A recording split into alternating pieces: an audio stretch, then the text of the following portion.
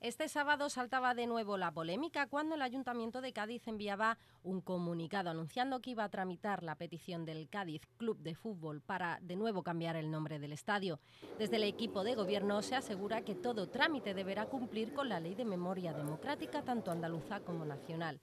Pero señalan que se iniciará el expediente tras recibir la solicitud del equipo amarillo, al igual que la modificación de la denominación del trofeo. De memoria democrática hay que cumplirla, eh, creo que llegamos todos al consenso de que el estadio no podía tener el nombre de Ramón de Carranza, eso yo creo que está instalado en la sociedad. Y, ahora parece que hay una petición expresa del Cádiz de, también de modificar el nombre del trofeo, que sí conserva Ramón de Carranza, incumpliendo en este caso. Eh, igual que, que, bueno, nos puede pasar con el tema del puente Carranza, es decir, que aquí hay una discusión permanente en la sociedad sobre si, si, es posible ese debate. Por su parte, desde la oposición se discrepa de la legalidad de este procedimiento. En este sentido, Adelante Izquierda Gaditana es más crítico y ha confirmado medidas contra lo que considera un atropello hacia la verdad, la justicia y la reparación.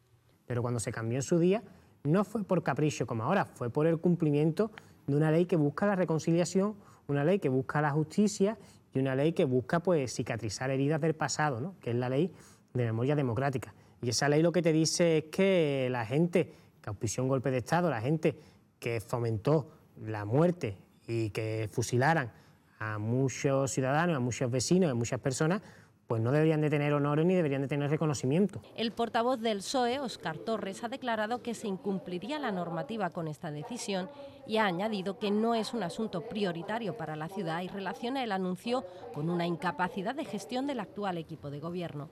El alcalde yo creo que ha entendido de manera errónea, pero ha entendido que abriendo ahora, si me permite usted la expresión, este melón del nuevo cambio de nombre, pues va a poder eh, desviar la atención de las preocupaciones de los gaditanos y de las gaditanas. Me parece un error tremendo, más allá de que tenemos muy serias dudas de que este cambio de nombre pueda cumplir la ley de memoria histórica. Según el escrito de la entidad cadista remitida al ayuntamiento, el nombre de Carranza una de manera mayoritaria la identidad y la memoria colectiva del cadismo y aseguran reúne todos los requisitos para el cambio de denominación.